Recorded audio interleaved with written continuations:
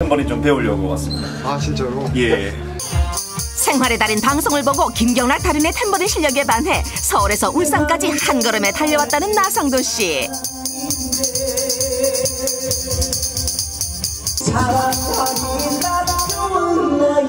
어느덧 탬버린 비법을 전수받는 훈훈한 관계가 되었다고 합니다.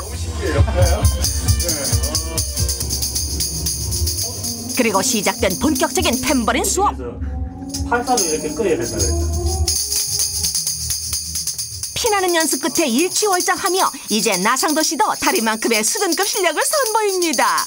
제가 그냥 처음 보고 깜짝 놀랐다니까요. 처음 봤는데 이걸 비슷하게 치시는 거예요. 아, 네, 그래가지고. 연습을 많이 하셨겠죠. 네. 그만큼. 그러니까, 그러니까 하루 8시간씩 그러니까 인대 나가셨다.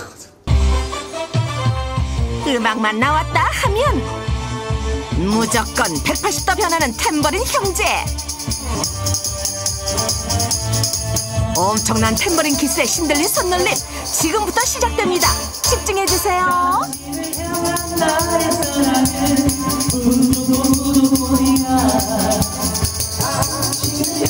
와우 이상할 만치 끌린다 두 사람.